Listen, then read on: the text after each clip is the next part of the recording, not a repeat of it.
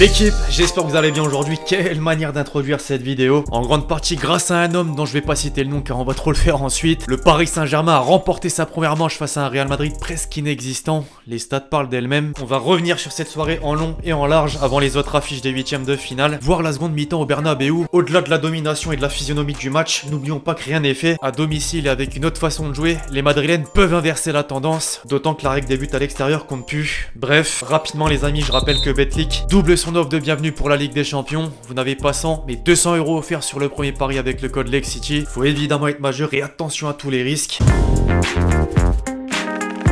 Ce matin, la presse était complètement omnubilée par Mbappé, à juste titre. Les deux quotidiens sportifs de la capitale espagnole mettent de côté la défaite pour décrire le joueur tant désiré sous le maillot blanc. Qu'il est fort, s'exclamait Marca en placardant l'action du but. De la même manière, As écrit purement et simplement que c'est de la bombe. En Catalogne, les pro Barça Sporting Mundo Deportivo demandaient hier un ultime service à Messi contre l'ennemi du championnat. Or, Kiki s'en est occupé à lui seul et prend la place de l'Argentin au premier plan. Le crack mondial, pour reprendre les quelques propos, est pas passé inaperçu, même à l'étranger. En Italie, par exemple, le Corriere dello Sport indique que le prodige a battu son Real en référence au transfert éventuel. Le surnom de phénomène est utilisé dans un encart par la Gazzetta dello Sport. La Belgique était obligée de mentionner la performance de son gardien, mais là encore, la dernière heure préfère une comparaison afin de boucler la boucle. Au pays, le Parisien vante les mérites du roi en délivrant les siens à la dernière minute. Le héros du soir a littéralement fait exploser le parc. En parallèle, l'équipe se permet de faire un jeu de mots sur Léo et son penalty manqué. Mais si, c'est encore lui. Le journal n'a pas été très tendre à son sujet d'ailleurs. Top L'équipe, comme d'habitude, je compte sur vous pour lâcher votre meilleur pouce levé, le soutien, le référencement. Et ce palier difficilement atteignable, mais possible. Merci vraiment à tous ceux qui le feront.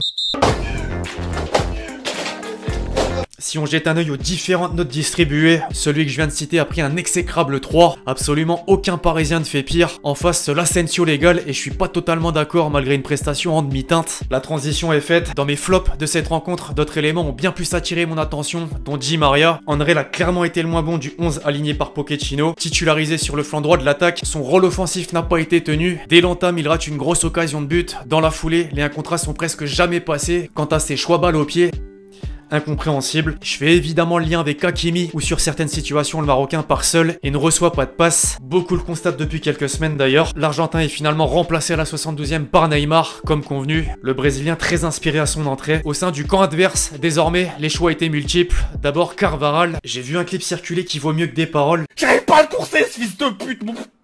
Regarde, regarde la vitesse où il passe, fils de pute Regarde, regarde avec mon corps de lâche Vas-y, course-le, sale fils de pute, putain Vas-y, mon gars le défenseur du Real aura énormément souffert sur les percées d'Mbappé. Les duels ont toujours été à sens unique et à l'heure de jeu, il est en plus à l'origine du penalty sifflé après un tacle en retard sur son agresseur, c'est le terme. Lucas Vasquez a pris le relais 10 minutes plus tard. Puis j'aurais pu pointer du doigt le milieu de terrain madrilène, l'approche d'Ancelotti ou l'attitude de tout un collectif, mais une réserve à Vinicius. Sa vitesse et ses rares dribbles ont pas été aussi efficaces qu'en Liga, on l'a quasiment jamais vu, hormis sur l'aspect défensif. Il est sorti au profit d'Hazard sur la fin.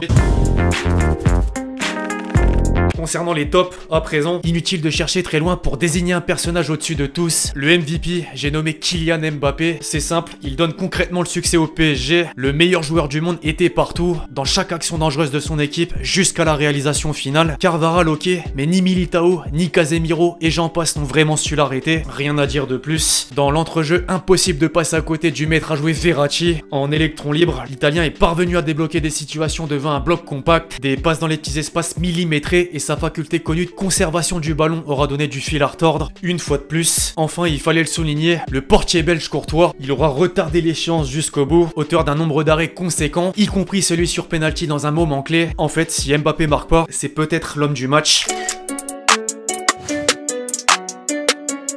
si on met le but victorieux à l'écart, le fait du match, justement, est bien ce tir à 11 mètres raté par la Poulgar. Un exercice qui devient de plus en plus dur pour lui, étant donné qu'il a échoué à convertir 5 de ses 23 tentatives en C1 inquiétant. Alors est-ce qu'il a mal tiré ou alors est-ce que le gardien a bien plongé? Il y a un peu des deux. L'ironie du sort, c'est qu'au même moment, à une minute d'intervalle, Ronaldo marqué pour Manchester United contre Brighton pour le compte de la Première Ligue. Les deux, décidément. Tous les yeux étaient rivés vers la même direction hier, on l'a suffisamment vu, mais on va encore plus le voir avec ses réactions.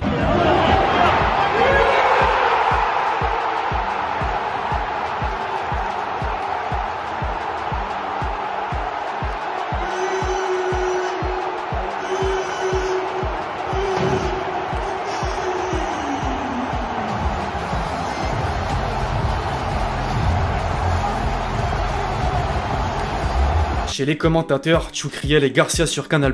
Au passage, à partir sur ce commentaire au micro de la Cadena Copé, guettez les mots, Alan alias le viking de côté, faites venir cet animal. Bref, les consultants également, Titi Henry en faisait partie à l'étranger.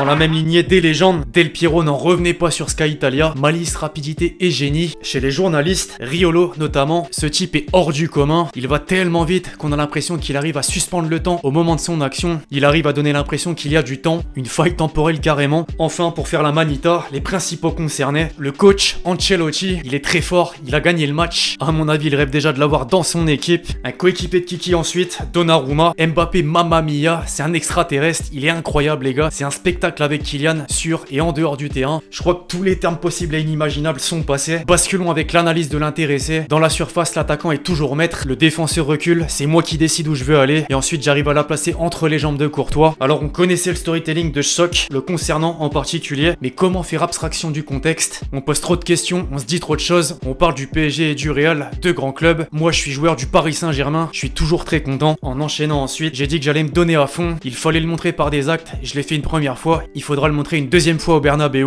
Rendez-vous dans trois semaines. Rapidement, tenez, faut savoir qu'il est également passé par une chaîne espagnole. Et euh, bah la maîtrise, autant dire qu'elle est présente.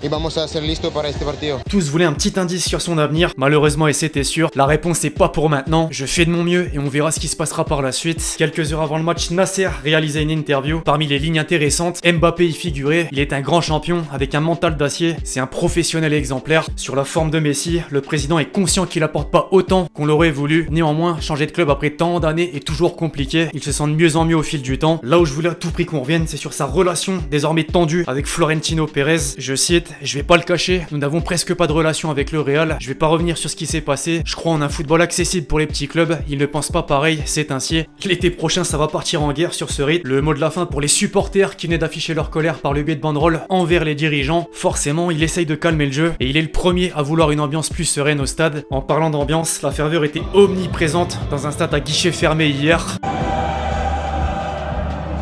Un groupe de supporters madrilènes a également fait le déplacement. On les a vus dans un petit parcage dans les tribunes, mais pas que, dans le métro. Et écoutez ce chant. Ah là là là là. Avant de clôturer la vidéo, le petit tour habituel sur Twitter. Julien Cazara à l'honneur. Benzema et Vinicius Junior, insane performance à Parc des Princes. Crazy skills. D'ailleurs, c'est plus le Brésilien qui en a pris pour son grade. Logiquement, Benzema revenait de blessure. Le compte de troll qu'on connaît. Vinicius vs Paris Saint-Germain. Oh, les méchants passent partout. Parmi les plus tweetés, on retrouve évidemment le penalty. Les Parisiens après le penalty. Capricum. Courtois qui inverse les rôles. Mbappé quand Messi a raté le penalty. Ceux qui se font déjà l'idée d'un départ vers le Real. Donnarumma ce soir. C'est clair qu'il devait se faire chier. Nada. Aucun tir cadré. Carvaral, c'est c'était inévitable à chaque fois qu'il croise Bapon, classique mais toujours aussi efficace. Les bookmakers ont à nouveau répondu présent, BetClick par exemple, Carvaral à chaque accélération de Kylian, l'alarme à l'œil, les concurrents de la même manière, Carvaral face à Mbappé, la glissade interminable, Carvaral depuis le début de match, deux week-ends dans le rôle du mec perdu en pleine performance, Mendy suspendu, Marcello quand il apprend qu'il va devoir jouer au match retour, ah, c'est clair qu'il a de quoi suer, alors ça c'était avant le match, j'ai peur que Sergio Ramos dévoile notre plan de jeu au Real, impossible, tu le crois loyal? Non, j'ai pas de plan de jeu, Pochettino malgré lui, une réponse au tweet de Kylian directement. Perez annule le contrat, go pour Haaland. C'est plutôt le contraire, j'imagine. Enfin, un dernier pour la route à sa destination. Tu vas quand même pas rejoindre cette équipe et laisser le pêcheur uruguayen en crocs seul en tête des buteurs. Pas toi, pas maintenant, pas après tout ce que tu as fait. Une pensée à Gilardi pour finir. Bref, l'équipe, c'est tout pour cette vidéo sur cette première manche des huitièmes de finale de la Ligue des Champions. J'espère que vous l'avez kiffé. Je compte sur vous. Si c'est le cas, pour lâcher votre meilleur pouce bleu. Très important. Donnez-moi vos avis sur tout ce qu'on a pu aborder et comment vous le sentez dans trois semaines. D'ici là, on se retrouve très vite sur la chaîne pour de nouvelles vidéos. C'était Ciao, ciao.